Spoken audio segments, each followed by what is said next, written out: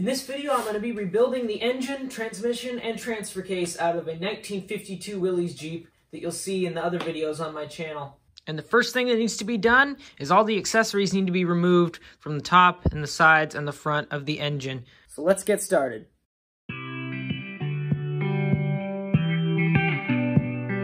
I knew this motor had a blown head gasket, and it looks like this cylinder is the one that's affected when you compare it to the others.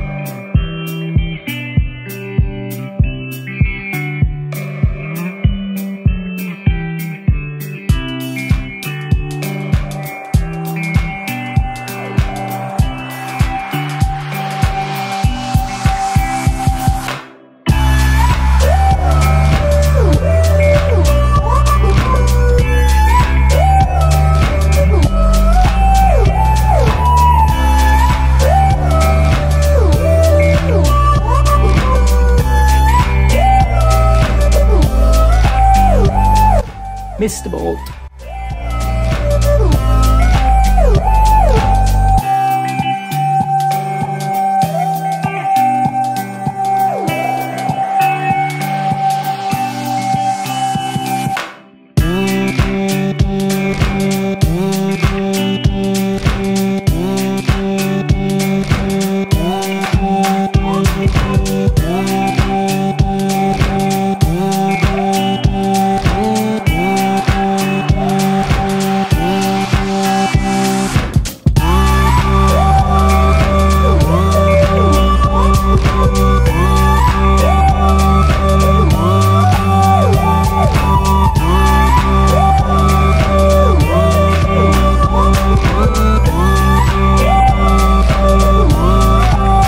Now that all that stuff has been removed, it's time to remove the transmission and transfer case from the engine.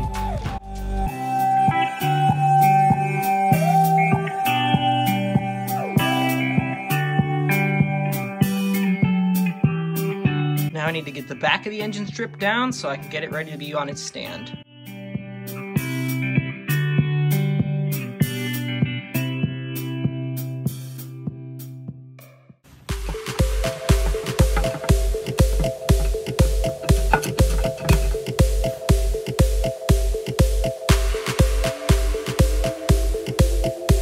Ready, but I don't actually have the stand built yet.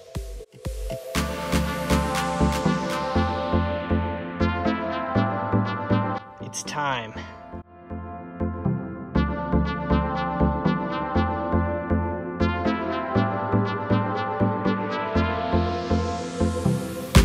The engine stand doesn't fit between the legs.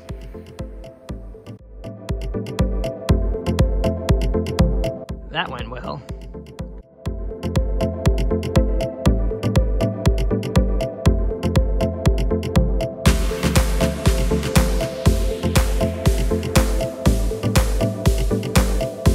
Well, that didn't go as smoothly as I'd hoped, but well, here it is. It's on its stand. It's where it needs to be. Everything's all good. I cleaned up the spill.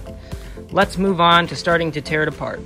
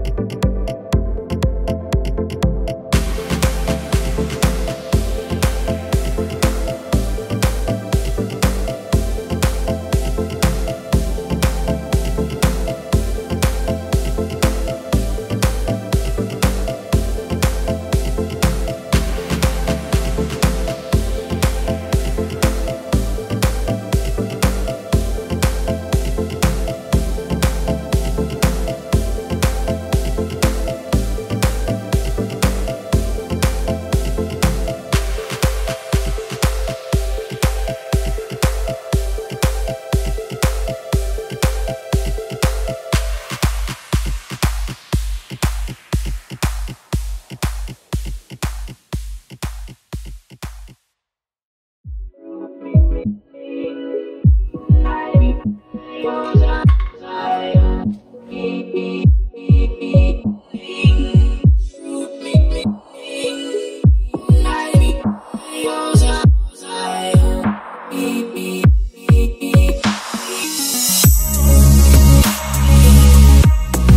Okay, now the engine is about as far apart as it needs to be.